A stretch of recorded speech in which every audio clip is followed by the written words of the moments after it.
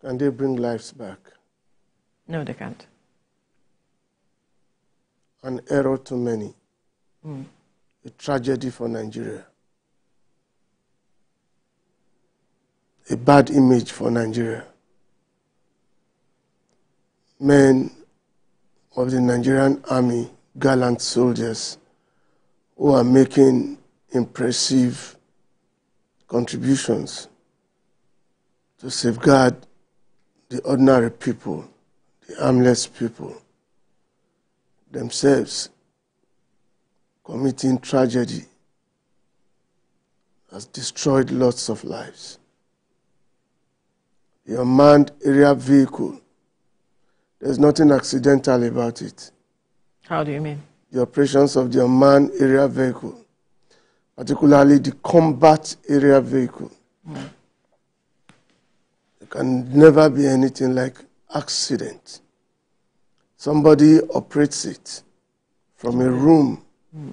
follows it with the system, monitors and define the images mm-hmm. provided by the UAV, and then you take action as a team. When you would have concluded there was time to unleash, you would have been conv- convinced that the people, the images provided were those of the enemies. You have surveillance area vehicles, unmanned area vehicles. You have the combat area vehicle, unmanned area vehicles. I'm glad, I was glad that Nigeria has advanced. The military has, has, has, has, has gone beyond um, the attack with helicopters and the Tucanos manned by humans. Provides less colossal effect to the military when they adopt the use of the unmanned area vehicles. But I venture that unmanned area vehicle is brought down. Forgive me, please. But I venture that unmanned area vehicle is brought down. You have less colossal damage there would not be any pilot in it. Mm-hmm. Mm-hmm. The military, the army, the air force was quick to say they had not carried out any such activity in the last 24 hours before that incident happened. Mm-hmm. They quickly exonerated themselves. Why should it be so? Why shouldn't it? They work as a team. The military, the military is a combined um, force with, from different arms or different services that are carrying out these security activities, fighting, the, fighting insecurity. It is not time to apportion blames. It is not time to exonerate your, yourselves. It is time to feel the pains of the people. We have had incidences like this in about five states, or four, if I'm not mistaken. I'm talking emotionally because I feel pains where you misjudge movement, gathering, miscommunication, intel gone wrong. Mm. That's what it is.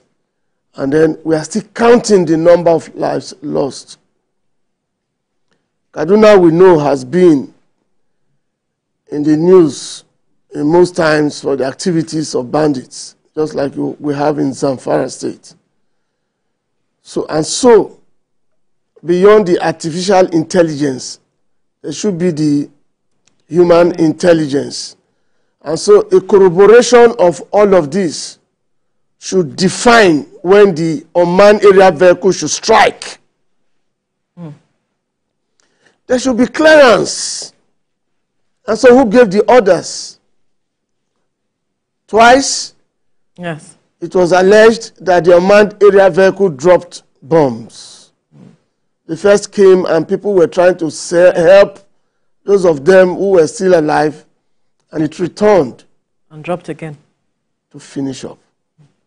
If peradventure it, they suspected tra- this tragedy to have been the activities, like they said, to be those of bandits, the ground troops would have been ready to clean up after the area bombardment. Like Roy said, the three armed forces are specialized in carrying out their prim- primary responsibilities in different ways. You call them the Air Force. It means the force, area force. They are meant to operate in the air. Naval, you, they are supposed to operate on waters. The army, on ground. And so, if the army is operating drones, I guess that was why the Air Force quickly says they were not involved. Because every finger would immediately point at the Air Force, supposedly to have carried out an area bombardment. But what do we have? There's nothing wrong if the army has to operate drones, but with what expertise? That's the question some Nigerians are asking. I am one Nigerian who has cried severally to say we should go technology, the technological way, that we should